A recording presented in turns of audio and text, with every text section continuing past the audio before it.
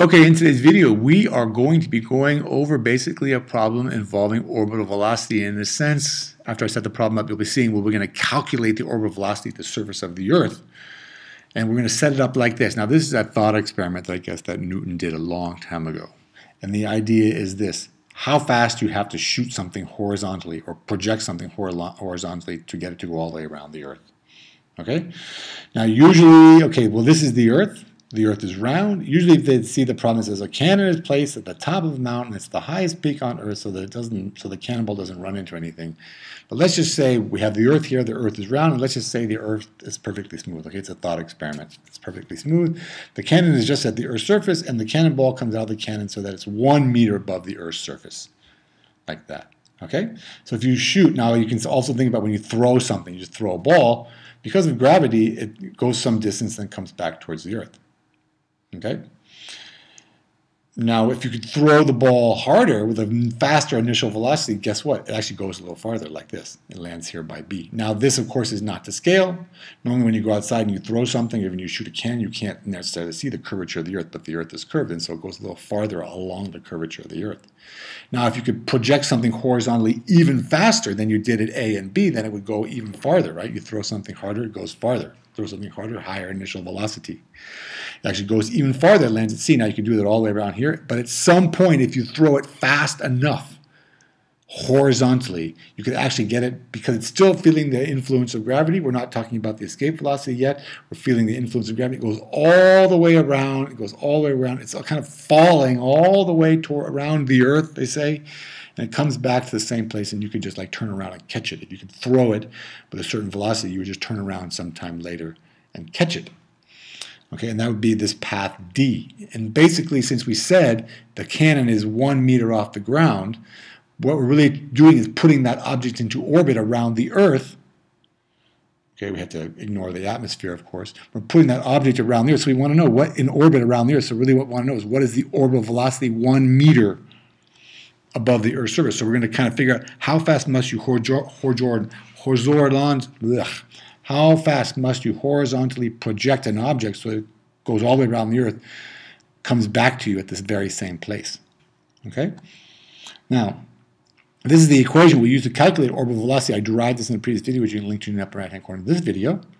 But this is the equation. It says the velocity is equal to the square root of g times m1 divided by rg is the gravitational constant, 6.67 times 10 to the minus 11 newton meter squared kilogram squared. M1, I could have put ME for the mass of the Earth. M1 is usually the central massive object, and which in this case the thing is that the object is going all the way around, which is the Earth. The mass of the Earth is 5.98 times 10 to the 24 kilograms. Now R is the kind of the interesting thing here. R is not just the height above the Earth, it's not one meter. R, when we use this equation, when we talk about orbital velocities, it's the it's the um, radius of the Earth plus the height. It's the distance away that the object is from the center of mass or the center of the Earth. Now, the Earth has a certain radius. That radius happens to be 6,371 kilometers. And we just said, for the sake of argument, we're launching it or we're throwing it one meter off the ground. So that means the radius, the total height from the center of the Earth is 6,372 kilometers. Okay? So those are the three values we need to calculate the orbital velocity one meter off the Earth's surface, or how fast we would have to throw something, project something horizontally so that it comes all the way back. We're just going to plug the values in. 6.67 times 10 to the minus 11 newton meter squared kilogram squared, gravitational constant. The mass, because the, the, the, the constant has kilograms in it, the mass must be in kilograms. It's given kilograms, that's not a problem. But of course, the mass also has meters in it, and the distance r is given in kilometers, so we need to convert. Okay, and 6371 plus 1 is 6372 kilometers. So I just put down here 6,372 kilometers. And I tack on a times 10 to the third because one kilometer has a 1,000 meters. So I just multiply that whole thing times a 1,000. You would get 6,372,000 meters. Okay, if you do that math, Oh, I want to point out one thing very carefully, just uh, it's interesting. You'll notice that in this equation, of course, in this equation, there's no term for the mass of the object that we're projecting. Okay, the orbital velocity is independent of the mass of the object. Okay, we talked about that when we derived that equation. Okay, it's only really dependent upon the radius, the distance off the Earth's surface. Okay, the greater the radius, the lower the orbital velocity. They're inversely proportional to each other. This is a constant. We're talking about the Earth. You know, this is basically a constant also in this case. So really, all we talk about usually with orbital velocities is changing the height.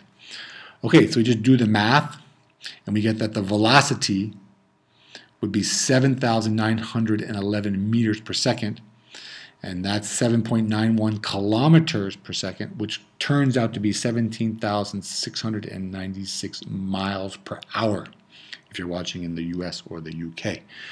All right, so you that's how fast you would have to throw something, project something horizontally so that it would basically, as they say, fall all the way around the earth and continue falling all the way around the earth and come back to the same place and you could turn around and catch it. Or what is the orbital velocity of an object one meter above the Earth's surface. Okay, so that's interesting. I think it's interesting. Hopefully you do too. So thanks for watching. I hope you found that useful. If you did, please do all the following four things. One, two, three, four. Uh, let's see. The first thing is subscribe to my channel. Get all my excellent chemistry, physics, and math videos. Uh, you should give me a thumbs up for this video. Why not? It was really good. I think I did a good job. How about a nice positive comment in the comment section below? And then uh, don't forget that sharing is caring. So show your friends that you care about them and share this video with them. They'll be very happy that you did. Okay, thank you, and we'll see you in the next video.